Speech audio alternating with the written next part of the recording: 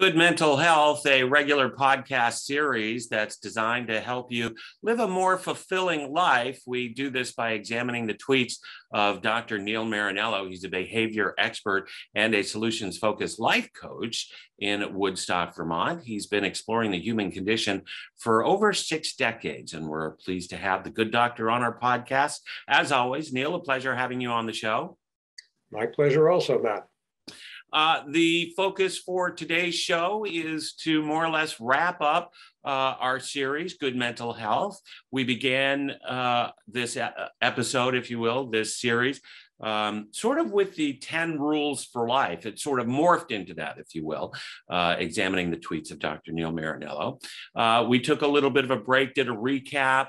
Um, uh, a number of episodes followed, which to me were. Um, really talking about how the way that you perceive something influences the way that you think about it, which then determines the outcome and the world around you. And we wrapped up our series with what I thought was uh, really apropos uh, was your tweet that talked about the meaning of life is exactly what you deem it to be, and it um, basically is that you know these soothsayers and these sages through the dawn of time none of them have any answer to that question any more than anybody else does and so what it comes down to is you uh, decide what the meaning of your life is. Dr. Neil, a pleasure. Uh, let's wrap up the series and, and share your thoughts with um, how this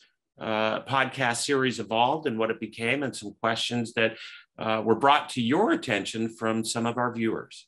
Mm-hmm. Uh, yes, well, uh, the gap in time from our last podcast to now uh, was filled with some interesting feedback, which I received, most of which was focused on uh, the extent to which uh, you had a chance to work through your issues about your suicide attempt. And, uh, uh, and I wanted to take some time for just you and I to talk, which we've done a few times since then, uh, so that you could uh, uh, have private sessions to decide what you wanted to share with the world uh, about that and, and resolve the issue yourself. with regard to the, the meaning of life issue, the anecdote which comes to mind is the one that uh, that happened with my uh, my younger son Kyle, who uh, got basically a a free scholarship to um, uh, to Emory College, which is often called the Harvard of the South. Uh, and uh, his first couple of years, he took a lot of religion courses.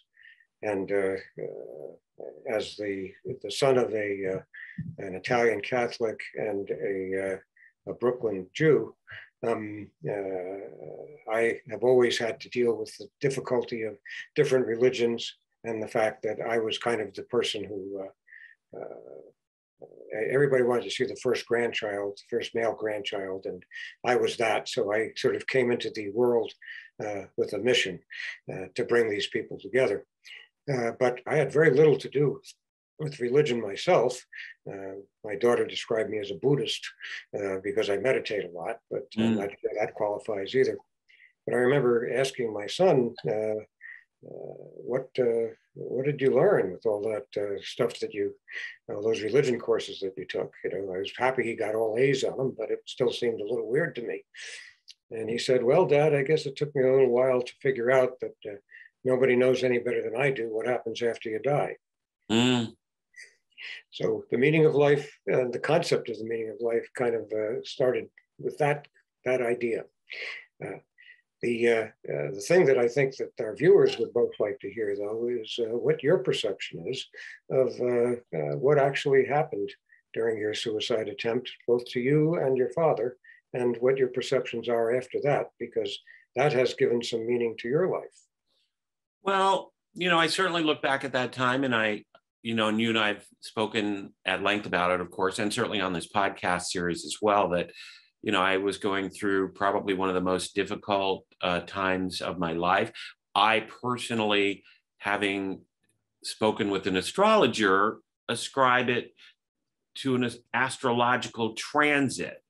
Now, Mm-hmm. I know that you have some problems with that, but that's how I've been able to compartmentalize it, if I will, and put it into a, a, a context that is something I can move beyond. Yeah, I have no so problem with, uh, with a, uh, with a, uh, the power of a belief system. Whether I agree with it or not isn't the issue. The issue is, uh, does it in fact help a person to grow or shrivel? Right. Yeah. And his advice helped me put this into a context so that I could examine it with you and with others in a more dispassionate uh, analysis. And so, again, I was going through what I call the tunnel of darkness. Um, and that, when, I think when you're in that period, you, you become very myopic. Again, you're in a tunnel of darkness. So this peripheral vision is gone and you're very, very focused on one thing. And so you can't see a lot outside of it. And so being in that tunnel of darkness, it took me to this place where, again, I was focused on um, not being a burden, not wanting to be a burden to people. Um, and when the event itself occurred, there was a time distortion in my mind and in my brain. Yeah, Um, it was a, uh, and I look at it today and I still I still see that time distortion. it was a And how- when you were, uh, when you were a teenager. Right, exactly. And again, you know, you and I've talked about how the lighting that night even was completely different. So I was in a in a very different time awareness uh, at that time because again, I was in the tunnel of darkness. Um, and when you and I have spoken again at length about it afterwards, again, there was this there was this time distortion that went on, and in a way, you know, For I both look you at and it. your father, it sounds like. I'm sorry. For both you and your father. Well, that's what I'm. that's what I'm I, I'm trying to get to is that as much as there was a time distortion for me, um, my father was strangely roped into it as well, um, and it was sort of reliving a traumatic period between him and I in my life that happened at uh, the age of 17, and it was like literally recreating it. And Yeah. so, what what's so- when he uh, he really uh, blew up at you. Uh, Right. Seventeen-year-old who came home late late? from uh, from being out, Yep. and he waited for you. Yeah. And in his mind, it sounded like he was feeling like if he didn't really come down on you when you were in your fifties for staying out late, uh, that uh, he would be a coward like he had been when he ran away from the from the guns. Mm. And so, what's so interesting is, you know, through the work that you and I have done, to be able to reframe that event, and and it's so interesting to think that, you know, when that incident occurred at 17, the way that it transpired would sort of set up the incident, you know, 35 years later to mm-hmm. actually be recreated to have a better ending to it, to have a better outcome, if you will.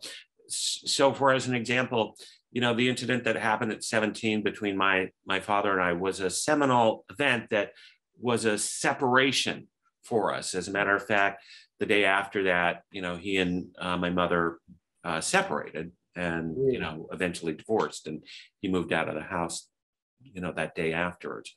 So 35 years later to actually have that same event uh, recreated gave both of us an opportunity to have a better outcome. And I can tell this to the listeners that for the five years after my incident, this occurred in July of 2014, my father passed in July of 2019 almost five years to the date of that incident. It was just one week uh, shy of the fifth year anniversary. And in that five years, my father and I worked so hard and consistently to be in each other's lives in a positive way and to show each other and to demonstrate to each other that we loved each other deeply. And I know that when my father died, he knew that I loved him. He knew that I knew that he loved me. So he was able to die knowing that I loved him. And both and, of you knew that you were not cowards.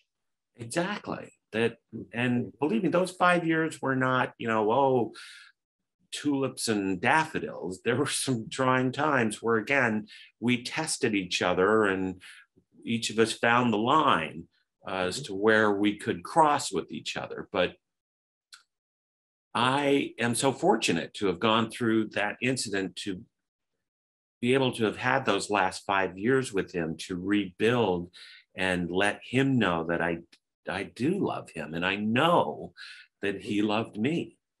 Yes, and uh, and part of that fortune is the fact that you survived the most serious suicide attempt a person can have and still survive.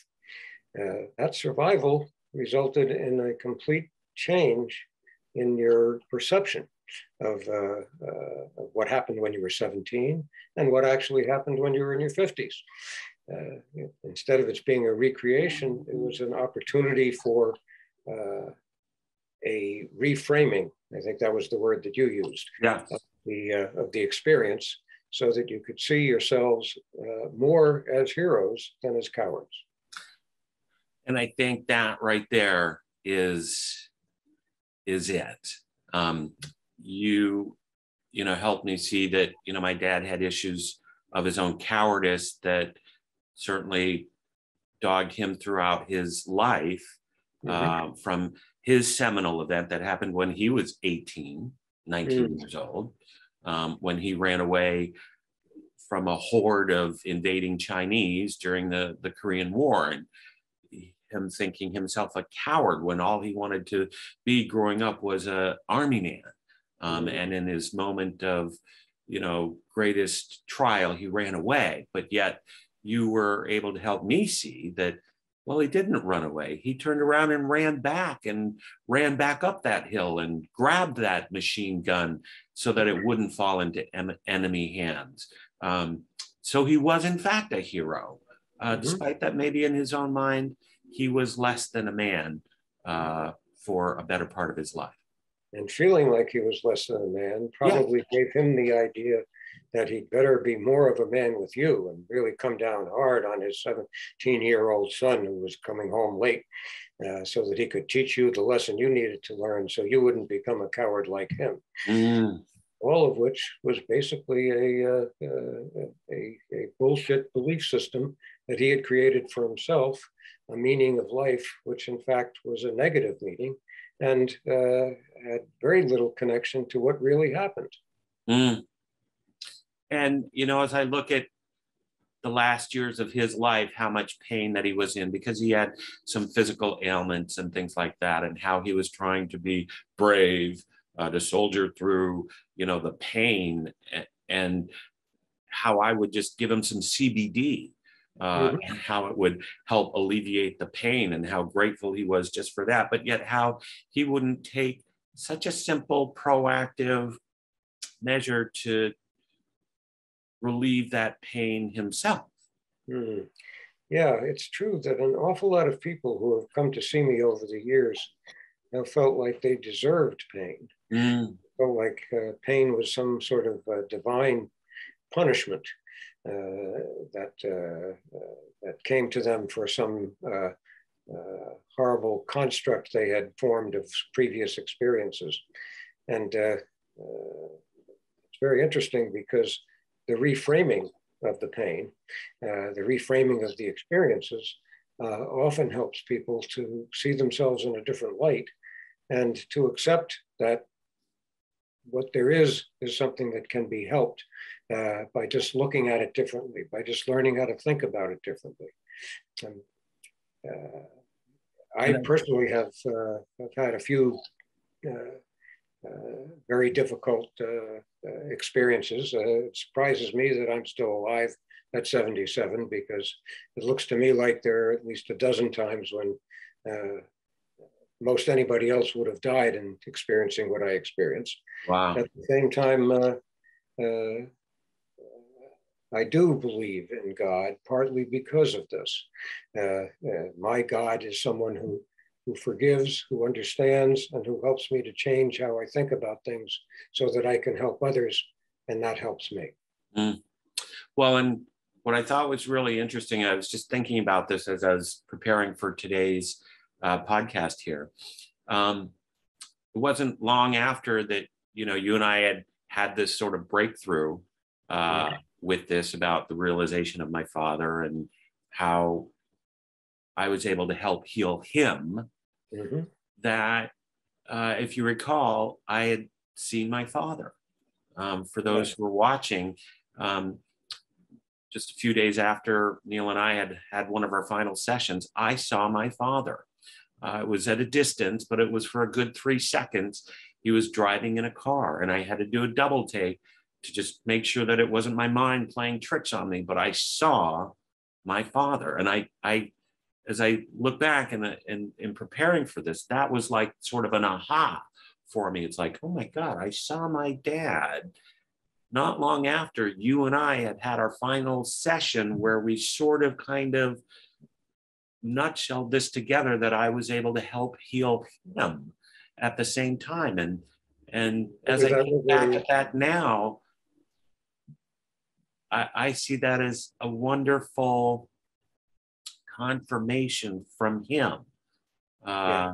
that he wanted to appear to me and to let me know that it's okay. And and it, as a symbol, he was in a car, and so that he's moving on that yes. maybe he's moving on to the next stage for him. Mm-hmm. Um, and yes. that was sort of maybe our goodbye. Mm-hmm. Sure. And whether what you saw was real or a projection or hallucination or whatever and other people want to project onto it, the truth is that it was the closure that was needed uh, to deal with really the only unresolved major issue in your life. Uh, and uh, you have spent most of your life thinking of yourself more as a loser and a coward than as a winner and a hero. And uh, by virtue of your having uh, been father to your father, by virtue of your having understood what happened to him and applied it to yourself and seen your contribution to his healing. Uh, you are now, at least in my best fantasy, uh, uh, done with any uh, uh, past therapeutic process and ready to get on with your life as the winner that you are. Mm, wonderful. Not sure what uh, format that's going to take. I can say that I'm in a, a really great place right now. Mm-hmm. Um, where I am actualized uh, by uh, doing something 180 degrees different than I ever thought I would want to do, which I'm now doing locksmithing, mm-hmm. um, which is just something that five years ago never would have been in my realm of, you know, possibility or desire. Um, so here I am in 2022, um, excited about what uh, is coming next. And even if it's not anything next, to just actually be able to relax in the now. Yes. Um, I was just sitting here, you know, preparing for today's uh, podcast and just looking around and realizing how content I am with things that they are in the now and how I I actually don't really want to change anything um, mm-hmm. because the now is really good. It's all there is. And I can testify to your competence as a locksmith since you opened a, uh, a file cabinet of mine that I couldn't open before. And uh, uh, the, the experience of the present is all there is. but it can only be truly appreciated uh, when you have the now in its proper context, taking into account the past. when the past contributes to your existing in the now without some sort of uh, self-talk of uh, how you screwed up in the past and, and uh, how you need to, uh, you don't deserve uh, to enjoy the comforts and the experience of now. Uh, we've talked about this before, but nobody gets out of life alive. The issue is how do you get through this moment in a way which you can say to yourself, I did the best I could. Mm. And if you feel in retrospect you didn't do as well as you could, how can I change so that the next time something like this comes up, I can feel I grew rather than shriveled? And I think our work has really helped me uh, be a little bit nicer to myself, mm. uh, hmm. be willing to give myself a break and to not be so hard on myself that like you said oh i'm a loser or oh you're an idiot for doing that because that self-talk of course is what can keep you down um, eh. This is the uh, uh, this is the psychology today the forgive yourself. Uh, uh, that came out this month. And uh, uh, it's an extraordinarily important concept to be able to forgive yourself to be able to accept yourself as you are uh, it's taken me a long time. In fact, I tweeted today about the fact that uh, I see myself as an idiot savant. uh, I, uh, I'm very good at knowing how people think and at changing that uh, thinking so they can uh, think in ways that are more constructive and positive for themselves. but if you ask me to figure out how to get this chair through that door, I can't do it. Yeah, yeah. I'm a, I'm a, a thought engineer. I'm not an engineer that has to do with things. Uh, so the idiot part of me has been there my whole life. Uh, fortunately, I think I've been able to develop the, uh, uh, the thought engineer part of me to the point where I can help a lot of people. I love that uh, framing, thought engineer. Um, and to that end, you know, you're in my brain and we've talked about that a lot that uh, the self-talk i have now in my brain is actually talking to you um, mm-hmm. and I find that I'm pretty content. And one of the things that I say to myself a lot is that I'm doing the best I can with what I have. Good. And that's sort of my way to forgive myself if I don't, you know, do whatever uh, in a in a way that you know maybe I'm self disappointing. No, I'm doing the best I can with what I have, and it's going to be whatever it's going to be, and I'm okay with it because I'm okay with myself. You That's know? wonderful. And if you really look at in, in depth at any behavior, anything we do, uh, uh, it's a compromise. It's a compromise between forces which are pushing us towards doing something that would be worse, and forcing that forces that are pushing us toward doing something that would be, in our minds, better. Hmm. Uh, and when you understand what those forces are, you can move yourself toward the better. Uh, I, I find that examining the, the negative forces, which we've done in these podcasts, I mean, it can't get much more negative force than a person who so seriously tries to kill himself than you did, uh, who wakes up really unhappy that he didn't succeed in killing himself, mm. really pissed off at himself because he didn't, and who has now turned into the person that you're presenting to the world right now. Uh, there's no better way to understand how getting into the negative at sufficient depth uh, and with the proper help can help you to become more positive and uh, more of a, of a person who understands life as it really is.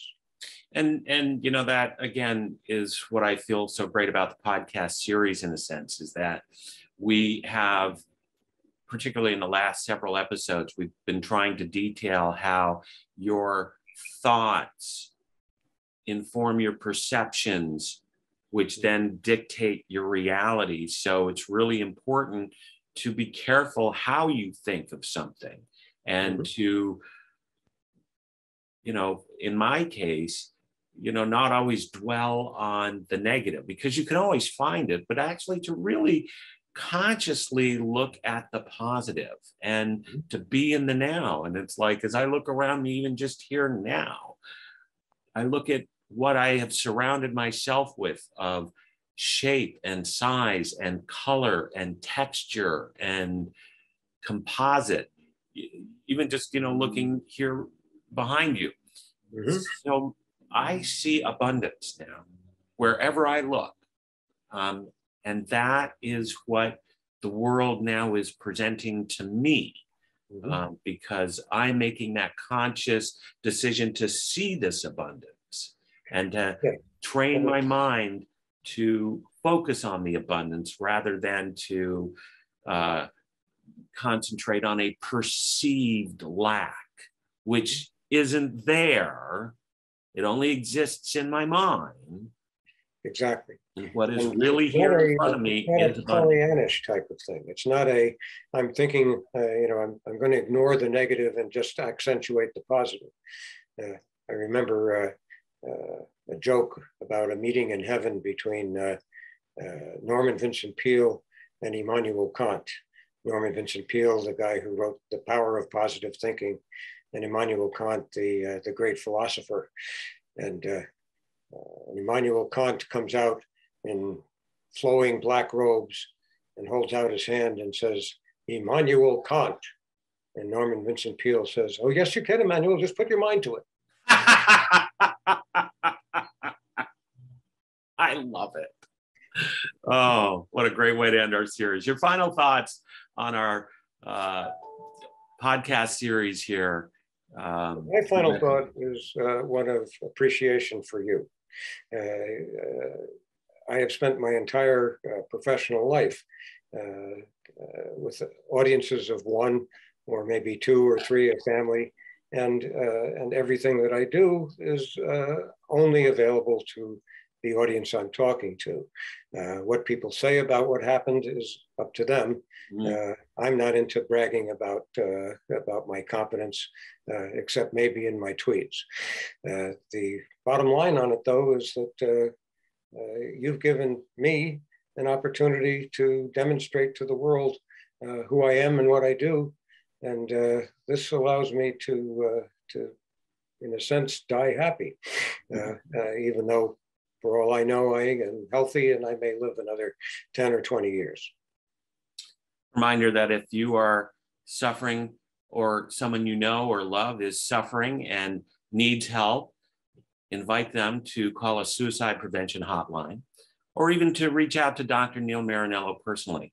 He's available for your uh, introspection and to help you with any issues that you may feel you have. He's a life coach out of Woodstock, Vermont, and you can find him on Twitter at Coach Dr. Neil. On behalf of the Good Doctor, I'm Matt Kelly. We're both wishing you good mental health.